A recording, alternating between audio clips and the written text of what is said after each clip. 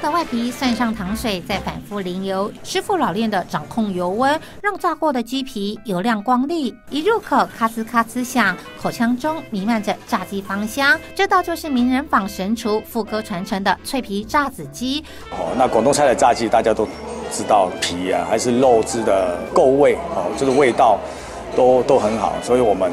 这边炸鸡也是很受欢迎。位于台中的这家名人坊餐厅可是大有来头。几年前，汉来美食集团引进不断摘星的香港名人坊，也成为汉来旗下最高档的餐厅。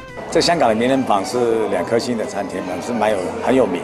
希望就是更多的人可以不用去到香港就可以吃到福哥的料理，都大部分都常客。像有些菜有限量的，一早就被订光了。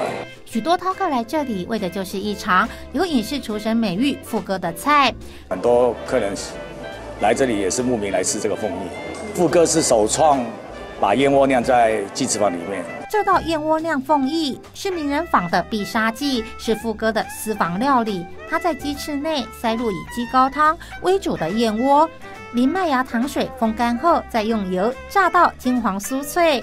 吃的时候可以吃到酥脆的皮以及软 Q 的燕窝馅，还有这道骨胶炒肚尖，用的是猪肚最细嫩的部位，快炒后吃起来的口感深脆有如像拔棒，在舌上弹跳几下就入喉。富哥的炒饭、招牌虾饺黄的也是饕客的最爱。他的炒饭就是跟外面的不太一样，就是很松又很香。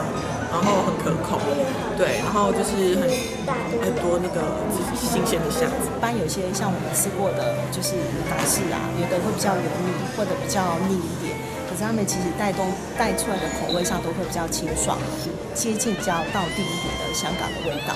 这里的服务生也是一流的，服务生心中都有客人好恶的笔记本，熟记熟客喜欢的味道。